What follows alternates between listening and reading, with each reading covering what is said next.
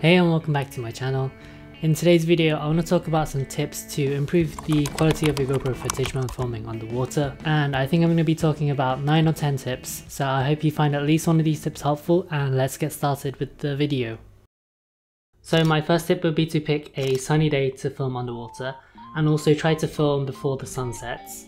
GoPros really don't perform that well in low light conditions. When you're underwater, a lot of the light is going to get absorbed by the water so it's going to be even darker than when you're above water. As you can see in these two videos, on days where there is a lot of light the GoPro can capture much more detail and a cleaner video.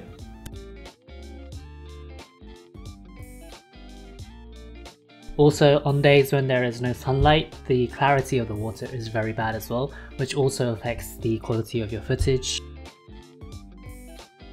The last point is, when you're filming in lower light conditions with the GoPro, you have to up the ISO value to make up for the lack of light. And when you up the ISO, you're going to get footage that is more grainy and not as clear.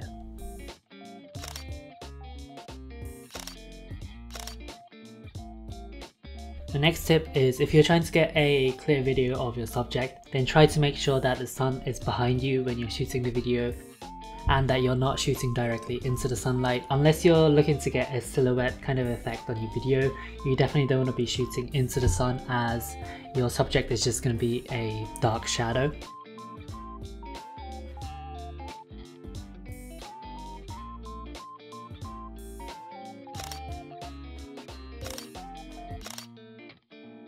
My next tip would be to turn on the grid lines on your GoPro and practice getting the subject of the video into the central square.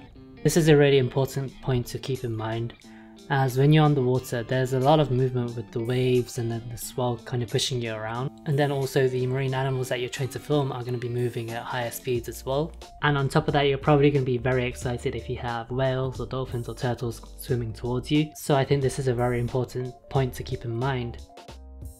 A video that has the subject coming in and out of the frame and not in the center is not going to look very good.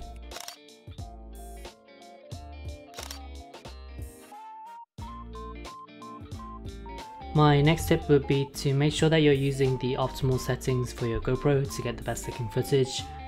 The default settings that the GoPro come with I don't recommend too much, so I would try to use something along the lines of this.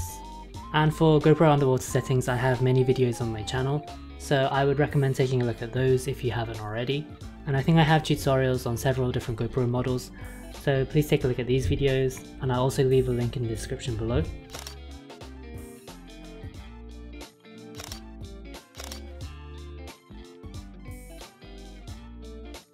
My next tip is to try to stay near the surface to get the best looking footage and this kind of fits in with the first two tips in that the more light there is for your GoPro to capture the better the quality of the footage is going to be. And when you're underwater, the deeper you dive down, the less light there is going to be available for your GoPro to capture. Just as an example, if I were to be filming let's say a turtle or a dolphin, I would try to stay near the surface and stay as calm and quiet as possible to not scare the animals away, and then wait for the opportunity when they're surfacing up to breathe air to film the video. My next tip to make your GoPro footage look better would be learn how to color grade. Here is a before and after of a underwater GoPro footage before grading and after grading. I find that a lot of GoPro underwater footage straight out of the camera has a very blue and green tint to it and by adjusting the colours so that the reds are a little bit stronger it makes the GoPro footage look more natural and appealing to the eye. For color grading, I personally use a software called DaVinci Resolve on my laptop and there are a lot of tutorials online that will teach you how to color grade so I would recommend looking at some of those. And I have made a few tutorials myself so if you would like to check them out, here is one of the videos.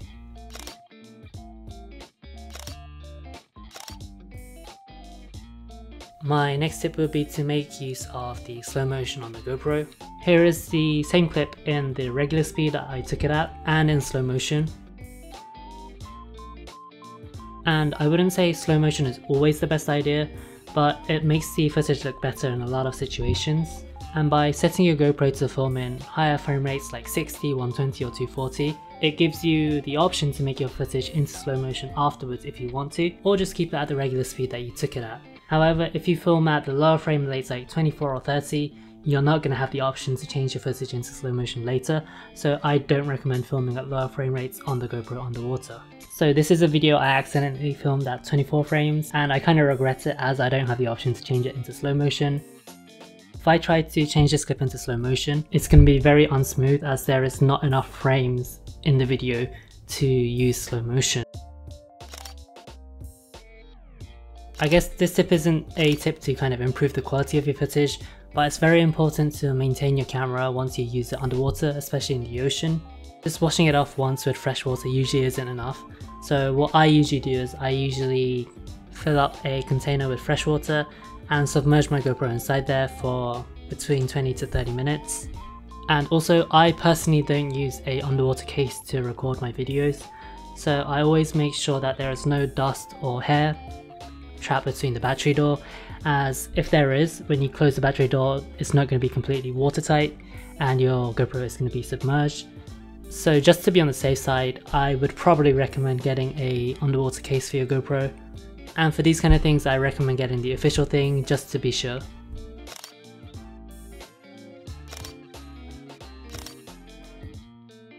And my last tip isn't so much to do with just a GoPro, but when you're underwater with marine animals, just make sure to respect them and try not to scare them away or cause them any harm, as that kind of footage is not going to be good in any way. What I would recommend when you're underwater is to try to make as little noise as possible and try not to make any sudden movements. If you stay calm and respectful and quiet, sometimes the animals will become a little curious and come towards you like in these videos and that's usually when I get the best looking footage.